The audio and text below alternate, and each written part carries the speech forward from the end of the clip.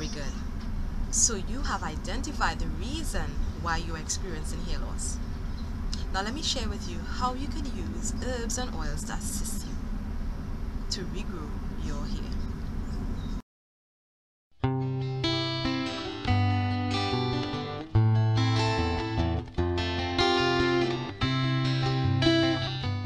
Hi everybody, so I'm back with another.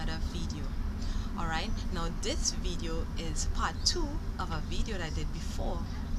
I am not a medical practitioner nor a dermatologist of that sort and so the information that I will be sharing is based upon personal studies, personal experience and also it reflects my biblical convictions.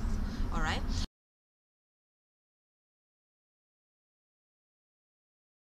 I encourage you to please share this video.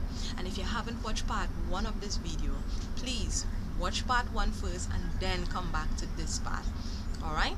So I want to begin with this scripture in Ezekiel chapter 16 and verse 7 it says I have caused thee to multiply as the bud of the field and thou hast increased and waxen great. And thou art come to excellent ornaments. Thy breasts are fashioned and thy hair and thine hair is grown whereas thou was naked and bare. And so I want to use this text as a foundation as we go forward in addressing now how you could you know regrow your edges and so forth. Now this text is a promise. Now that we have identified the causes and we understand that it may have been an internal problem or an external problem. And we have made a conscious, a conscious decision to address those problems as well as to stop those practices.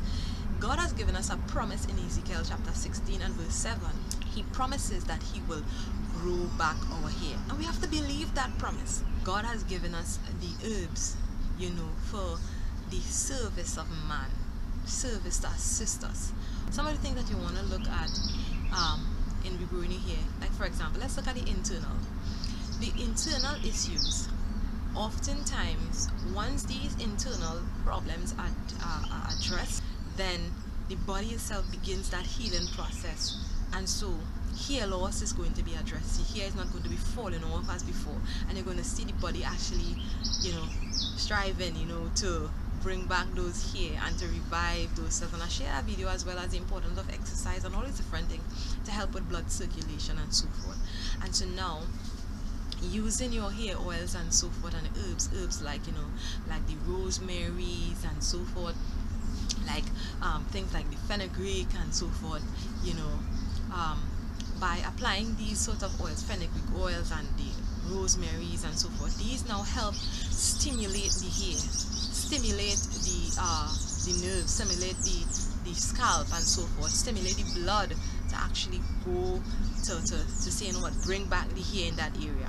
So now as it's stimulating the hair, you are now working in harmony with these herbs. So whereas it's now stimulating the blood now to bring the hair back, you are now, you have addressed the other issues. So now you could work in harmony with these herbs. Alright? Because just let's look at it into external one. If you are using hair oil and, and herbs and so forth to address the problem which it has its benefit but if you're still pulling on your hair you're not going to see the true benefit of that of the herbs and the oils. You're not going to see it. All right you're not going to see it. All right so you're, you're, there must be an assistance. You do your part and then the herbs and the oils and so forth could do its part and thereby bringing back. And now you can claim the promise in Ezekiel 16 and verse 7. So I want some things, I want you to consider some things as well. Now, especially in the balding area, you don't want to consider if if it if it if the area looks very smooth. Now, if the area is very smooth and shiny, that shows that the hair loss, the damages have been very, very, very extreme. All right, it may have been that you have been damaging your hair for years.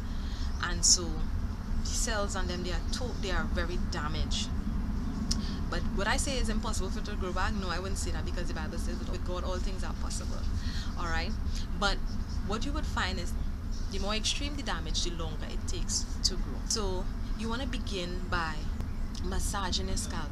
This would help stimulate the blood flow doing it regularly morning and evening. You want to get your hair want to get your scalp to the point where you can actually see the pores opening. Once the pores are becoming open it's a good sign. It's a good sign it's a sign that your hair tissues these tissues are being revived. All right so once these pores starts to open man that's a good sign and there is still hope. All right now what is going to actually happen as you apply the oils in that area?